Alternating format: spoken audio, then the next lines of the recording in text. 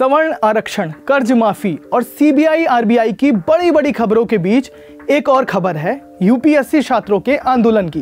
UPSC छात्रों के इस आंदोलन की खबरें जो मीडिया में चल रही हैं उसे देखकर ये लग सकता है कि ये आंदोलन सिर्फ़ दिल्ली भर में है लेकिन ऐसा बिल्कुल नहीं है। यूपी के इलाहाबाद बिहार के पटना गुजरात के अहमदाबाद कर्नाटक के बेंगलुरु जैसे तमाम शहरों के वो छात्र जो आईएएस, आईपीएस बनने का ख्वाब देखकर अपनी ज़िंदगी के कई साल बिता देते हैं, वो आप ठगा महसूस कर रहे हैं। दिल्ली की सड़कों पर नारे लगाने, तख्तियाँ लेकर प्रदर्शन करने का मकसद सिर्फ़ इतना है कि देश की संसद और सरकार तक इनकी आवाज़ पहुँच सके। छात्र इस बात से नाराज़ हैं कि यूपीएससी ने पिछले कुछ साल में परीक्षा के सिलेबस और पैटर्न में बड़े बड़े बदलाव कर दिए, जिससे ये परीक्षा नहीं, एग्ज़ाम सिस्टम का जीएसटी बन गया है। जीएसटी समझ रहे हैं ना आप? जिसके बार बार नियम कानून और स्लैब बदलते रहते हैं। अब ये छात्र परीक्षा में और चांस देने की मांग कर रहे हैं। यूपीएससी का इंटरव्यू दे चुके बिहार के अभिषेक से जब हमने पूछा कि एक्स्ट्रा चांस क्यों मांग रहे हैं आप तो उन्होंने कहा कि मान लीजिए कोई टी ट्वेंटी मैच होने जा रहा है। टॉस हो जाता है, खिलाड़ी तय हो जाते हैं, लेकिन मैच शुरू होने से पहले ये बोल दिया जाता है कि ये मैच टी ट्वेंटी नहीं पचास पचास ओवर का है। अब ये बताइए, क्या ये नाइंसाफ़ी नहीं है? अभिषेक कहते हैं कि यूपीएससी ने हमारे साथ 2011 से लेकर 2015 तक कई बार ऐसे बर्ताव किए हैं। यानी अभिषेक का कहना है कि चार साल में तीन बार पैटर्न बदल दिया गया, कोर्स बदल दिया गया। साल 2011 में यूपीएससी ने सिविल सर्विसेज़ परीक्षा के सिलेबस में बड़ा बदलाव किया था। अब ये बदलाव क्या है, मैं बता रहा हूँ। आयोग उस साल प्रारंभिक परीक्षा में सी सेट लेकर आया। मतलब एक पेपर सी सेट दूसरा paper general studies C set में मैथ्स रीजनिंग इंग्लिश के सवाल पूछे जाने लगे। शुरुआती परीक्षा का रिज़ल्ट तैयार करने में सी सेट के अंक भी जोड़े जाने लगे।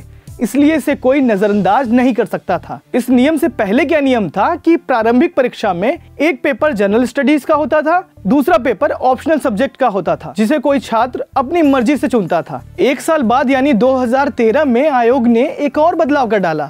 2012 तक मेन एग्ज़ाम में दो ऑप्शनल सब्जेक्ट के साथ जनरल स्टडीज़ के पेपर होते थे। अब अचानक मेंस एग्ज़ाम से एक ऑप्शनल सब्जेक्ट हटा दिया गया और उसकी जगह जनरल स्टडीज़ के एक्स्ट्रा पेपर जोड़ दिए गए। इस तरह ऑप्शनल सब्जेक्ट की वैल्यू अचानक घट गई, जबकि जनरल स्टडीज़ का महत्व और बढ़ गया। अभी परीक्षार्थी अच्छे से सिस्टम समझ भी नहीं सके थे कि साल 2015 में आयोग ने एक और बदलाव कर डाला।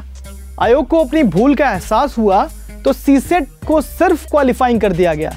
पहले सीसेट में हासिल अंक प्रारंभिक परीक्षा में जुड़ जाते थे, जबकि अब इसे सिर्फ़ क्वालिफाई करना ज़रूरी हो गया। अब आप सोचिए कि ये भूल हुई क्यों? देश भर के लाखों छात्र अपनी ज़िंदगी के 10-10 साल परीक्षा की तैयारी में निकाल देते हैं और आप भूल पर भूल किए जा रहे हैं। आखिर पूरी तैयारी के साथ जो विशेषज्ञों की फौज है आपके पास, उससे पूरी रिसर्च और स्टडी करके फैसले क्यों नहीं लिए जाते हैं?